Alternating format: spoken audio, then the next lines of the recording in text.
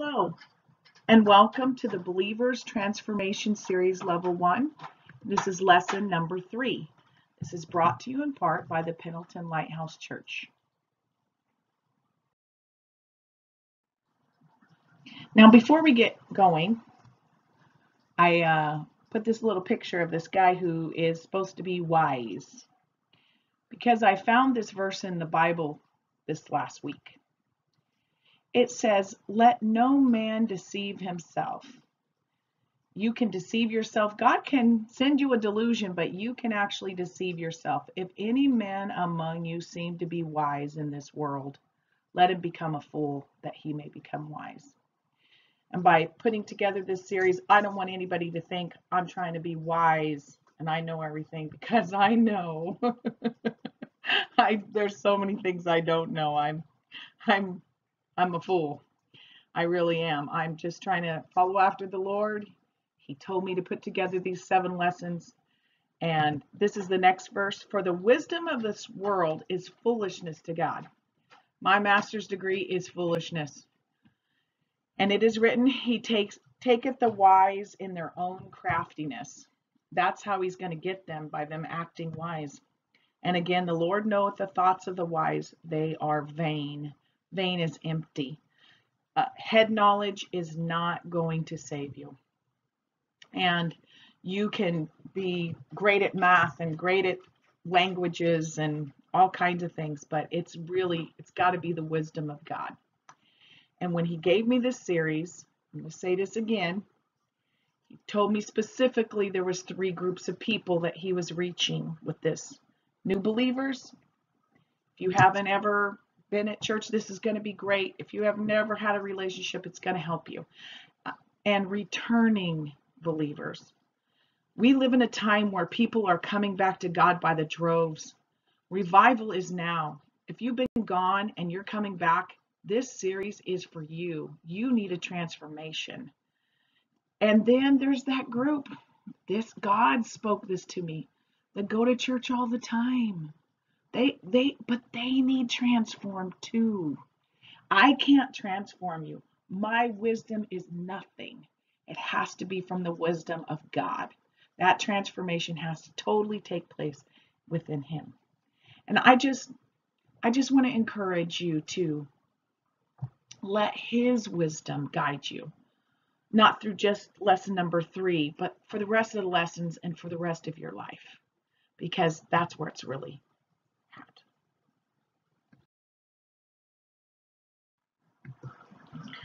So lesson number one is relationship, not religion. If you have any, if you're just living by a, a list of rules, you're going because your grandma went or whatever, you need a transformation. Because if you have anything other than a relationship with God, I'm begging you to stop. I'm begging you to stop and have a relationship. Do it because you love Him.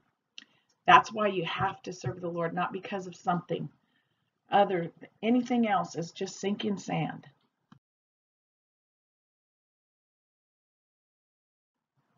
Lesson number two was um, old things are passed away. You're a new creature in Christ. And we tried really hard to take a look at your heart. The heart inside might love God, but there's all that crusty stuff that you got to start taking a look at a close look at and say, ah, this is not good. I got to get away from that. I got to get away from the old, the old man. The old man's got to die. And that sort of brought us to this thought, the two lessons together. Jesus is talking. He said, if you love me, and that's what we talked about, we, we love God that's a relationship. And then we keep his commandments because we love him. And keeping those commandments are going to keep our heart new, and that old man is going to pass away. So that's just a summary of the first couple lessons.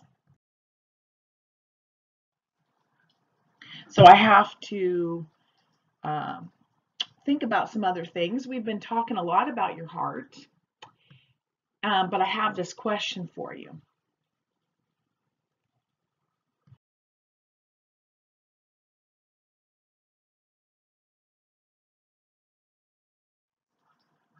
Where's all this leading?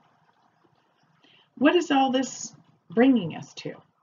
Is it like that cliche, uh, follow your heart, just do whatever you feel is right? that's the way. If if you feel it's right, then God's mm, well. There's nothing farther from the truth. You can't follow your heart. You need to love God completely with all of your heart, but you can't follow your heart. And I'm going to prove this to you in the Word of God.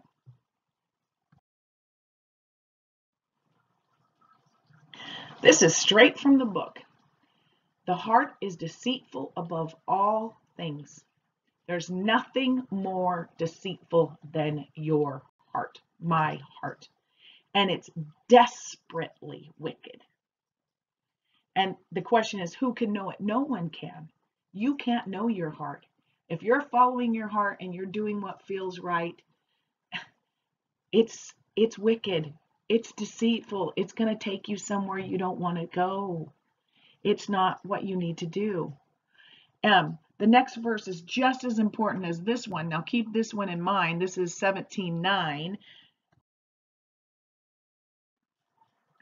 Jeremiah 17:10 says, "I the Lord search the heart." Okay? He knows your heart. He knows that it's desperately wicked. he knows, "I the Lord search the heart. I try the reins." Now, this is a picture of a bridle on a horse. Now, until I did this lesson, this is how foolish I am. I, uh, I'm a city girl. I didn't know the difference between the bridle and these are the reins. The reins is what makes the horse turn, want, or stop. That's what controls the horse, not that piece on his head. For some reason, I thought that piece on his head was what it was. No, and they actually, I read, and I'm foolish. That's why I had to read a bunch of stuff about this the sides of their mouths can get so calloused that you can pull the reins and they can't feel it. And when I read that, I got scared. I, I can let my heart, I can let my heart get so calloused that he pulls on my heart. He tries my reins and I can't feel it. It says, I try the reins even to give every man according to his ways and according to the fruit of his doings. So he knows your ways and he's going to try you. And this these two verses together are two of the most scariest verses at all in the Bible or uh, there's several that scare me that I go, "Oh, this is one of them." I don't and I saw it in a whole new light because I didn't realize that horses could get their faces could get uh, calloused and they can't feel the reins. I want God to just be able to barely tug on my heart and say, go this way, and I do it, or go that way, or stop. Don't just, he doesn't have to pull back way hard. No, I want him to be able just to talk to me. And, and I say yes.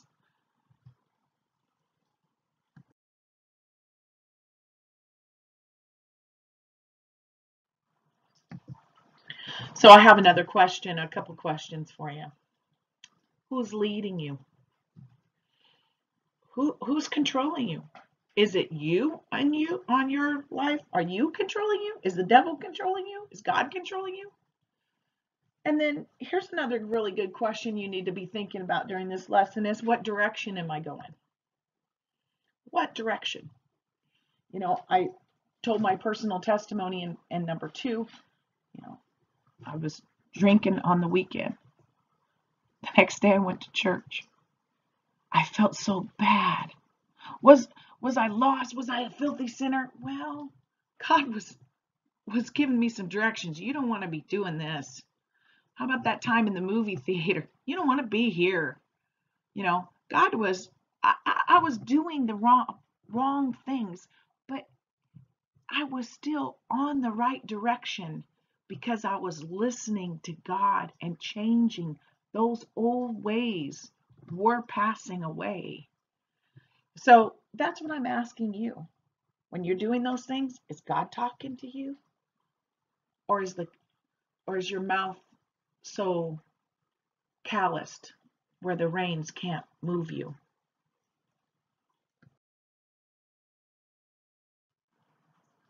Because God's direction is always the right path. Now, we see people and we think, oh, they're they're they'll never get right. Hey, as long as they're on God's direction, they're going towards the cross. I was telling my friend, I was so far from the cross when I repented. I repented, I turned from those evil ways. I did turn and I was walking, but I was so far. It just took me a long time to get there. And that's the way it is with a lot of folks.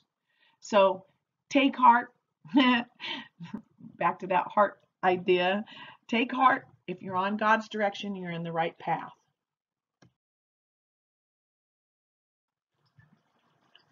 And truthfully, if you're on the right path, you've repented, told God you're sorry, you're doing the right things.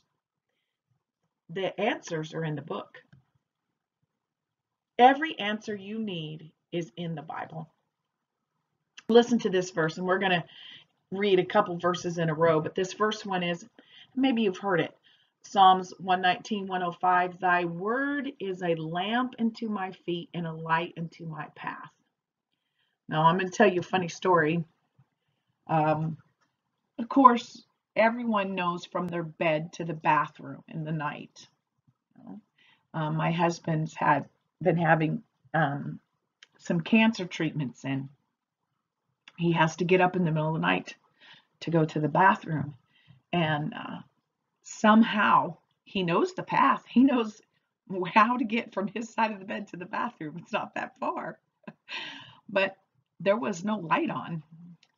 And he hit his big toe on something um, because there was no light to the path. And of course, I fixed that problem. I put a night light in the bathroom. But, but it just showed me, it all happened when I was preparing this lesson. It showed me it doesn't matter even if you know the path. Again, I'm talking to that person who's been in church for 50 years and been sitting on the seat and they know the path. If they don't have the light on the path, they're still going to stub their toe. The word, his word is a light unto your path. So it's going to tell you how to live your life. Every part, any question you have about your life, it's in the Bible. You can find it. it marriage and family. You're having those kind of problems, it's in the book. You're having problems with money and the economic times we live in, it's very common. The Bible talks so much about money. It's incredible. And you have emotional problems, you get angry, you're sad, you're fearful, whatever those are, you know what? The Bible talks about that. It has all of those things in it. His word is a lamp unto your feet and a light to your path. You may know which way to go. You're on the right road, but unless you have that light, you're going to stub your toe or maybe even trip and fall.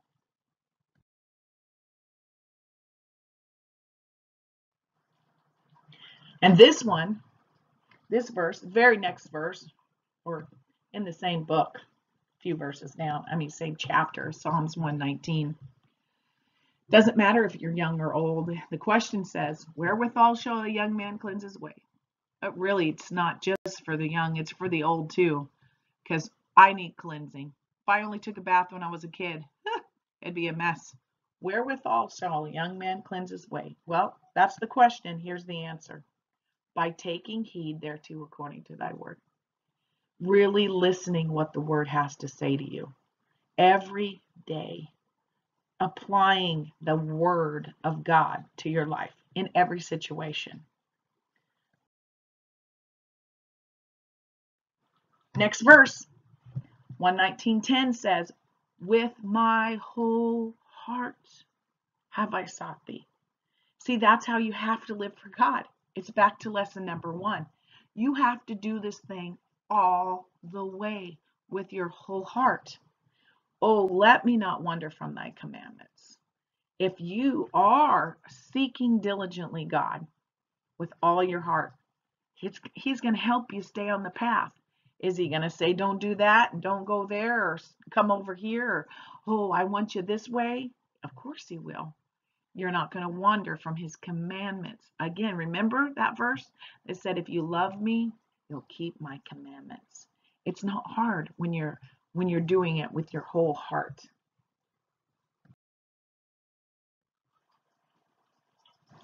And this verse says, this is the very next one, Thy word have I hid in my heart that I might not sin against thee. Very common verse. A lot of people know this, this verse. But are you really hiding his word in your heart? If you're not reading his word, then it's really hard to hide it.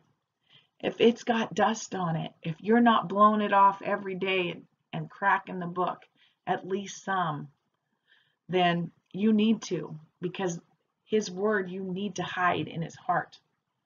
I teach this Bible study to a group of people besides online. And I told them I keep a little King James promise book in the bathroom.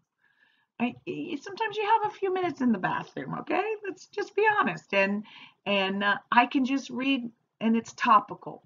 If you're sad, you read all these. It has like six verses or if you're lonely, different topics, and it just has what the Word of God. I'm hiding that word in my heart. A lot of times those word those verses are very familiar to me, but it doesn't matter. I'm hiding it in my heart. Now, it's up to you to figure out ways that's going to work for you to get the Word of God in your heart. But you can do it.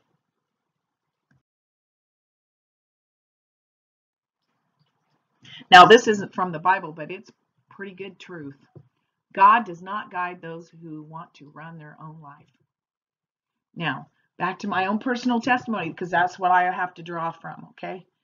If I was sitting there, um, let's say in that movie, God said, oh, I'm feeling that bad, and I didn't act upon it.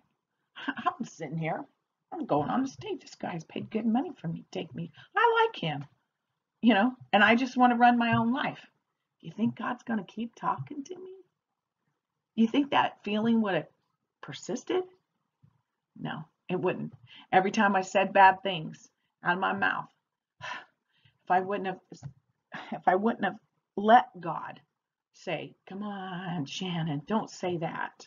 Come on, don't go there," then He wouldn't have kept leading me so if you want to run your own life, he'll let you go.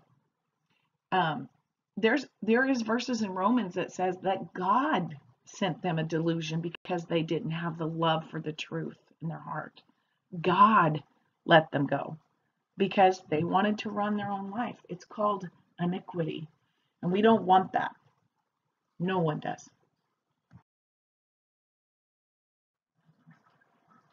And what would this lesson be? This is the main thrust of this lesson is for you to see exactly how important the Word of God is.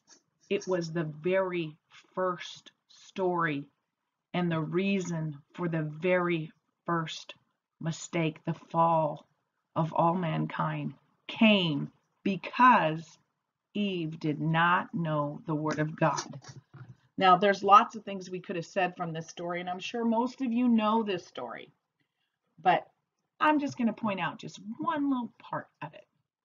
This is Genesis 3:1. Now the serpent was more subtle, sneaky, than any other beast in the field which the Lord God had made. And he said unto the woman, Yea, hath God said.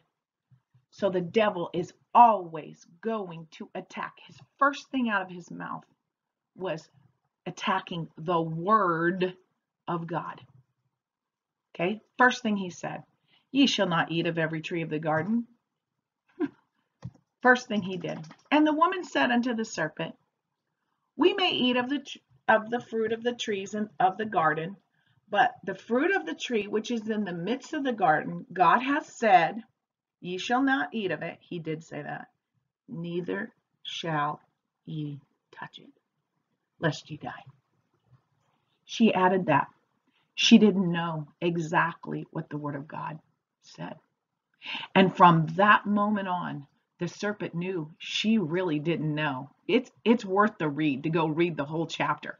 He is attacking the word of God and what God had said to Adam to say, to say to his wife. Now, in my mind's eye, she probably touched it and realized she didn't drop dead because she didn't know the word of God. So when she touched it, nothing happened to her. Then she ate. So it's always been from the very beginning.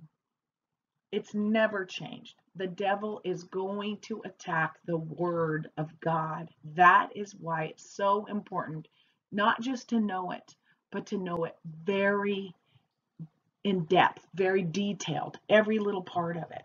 You need to know.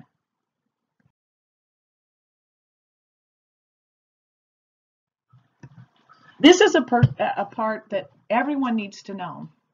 A very familiar verse, 2 Timothy 2.15, Study to show thyself approved unto God, a workman that needeth not to be ashamed, rightly dividing the word of truth.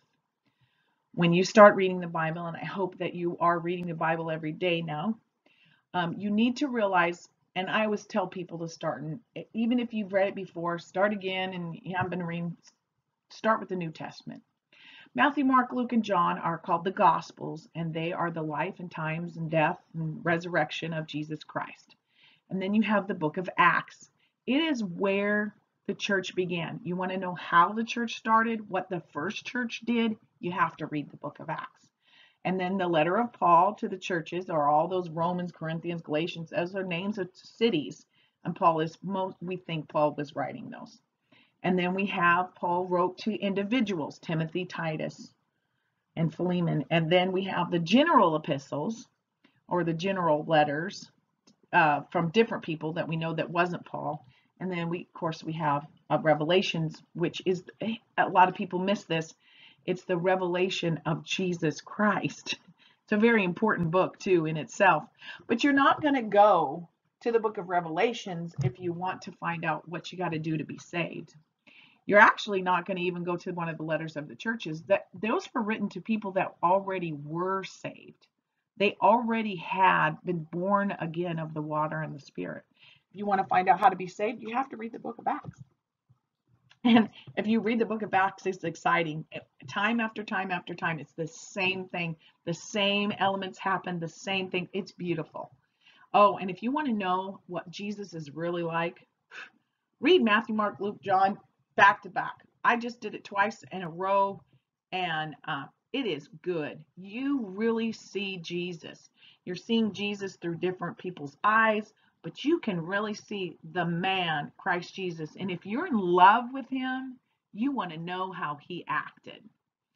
Um, again, this is maybe this is something you've heard a million times, or maybe it's brand new to you. It doesn't matter, but it's something we always have to be reminded of that we have to rightly divide the word of truth so we can find the right answers to the right. You got a church problem, you're going to find it in those letters to the, that Paul wrote to the churches. All church problems, and there are church problems. Come on, let's be real. There's church problems. They're always addressed in the book, those books. Oh, and different books to Timothy too. And you know, he was dealing with Timothy was a preacher, so he was trying to talk to him about his church. So it's all in there.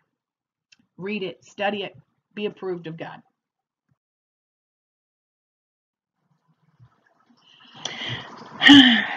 this says reduce your stress level by taking time to unplug from the world. Open your Bible and listen to what God has to tell you. So I'm asking you in this third lesson turn off Facebook, turn it off, open your Bible. Snapchat, all those other ones. Stop. Stop hearing the news. Unplug for a little while. Unplug into God. Listen. Sometimes I just read and I have a really hard time. I'm very hyper, but I make myself be quiet. And what is this trying to say to me? What is this telling me? Unplug. Listen to God.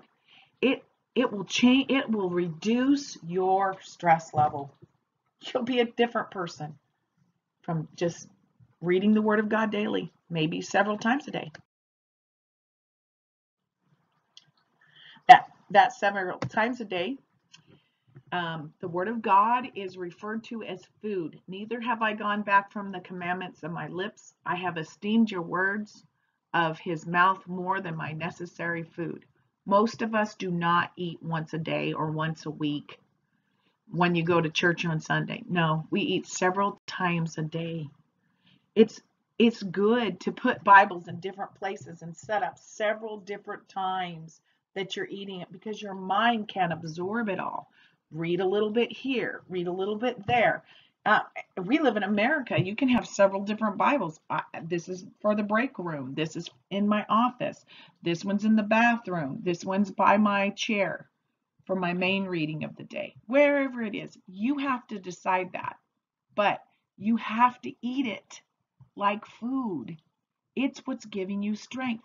If you have been living for God for a long time and you feel weak, it's probably because you're not eating enough of the word. If you left, you came, you were in love, and then something happened and you left, I bet you if you look back, you weren't reading the word. Because when you were reading the word regularly, that wasn't happening. Or maybe you never started out as a baby understanding the important that it's the sincere milk of the word and you didn't get it that you needed it. So whatever it is, you got to eat the word. This picture's been in all three lessons and every time God has told me. And he told me very specifically for this lesson that it's like Jesus Christ is standing right in front of you. That's what the Bible is. That's you have a problem, you're lonely, you need God. The word of God is him. And he's standing there. He's standing there. He's not mad. He's not got his fist drawn back to slug you. He's not going to push you down. He's not going to hurt you. No, he's standing there with his nailed, scarred hands, waiting for you to come to him. He can't make you open the book. He can't make you read it. But if you do, he's right there.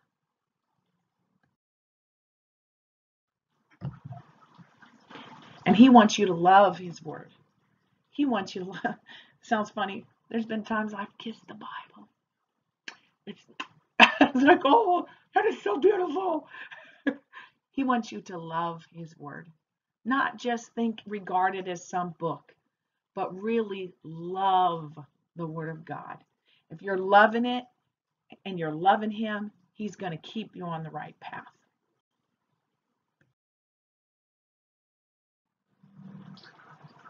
So to sum up this whole lesson, God's word and his love should cause a transformation in your life.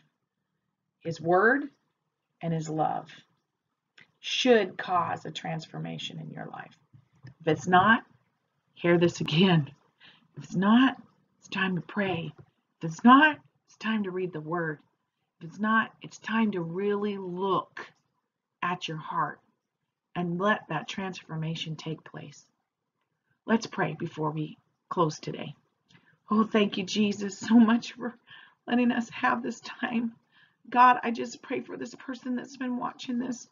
God, that you just touch their heart, that they love you, not because of a set of rules, but they love you and they want to serve you.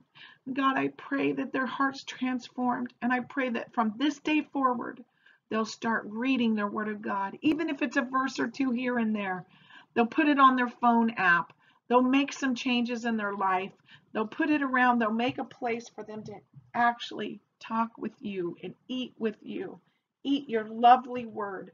God, I thank you for this journey and this path and this transformation that you're taking us on. God, I'm so thankful. I'm not wise.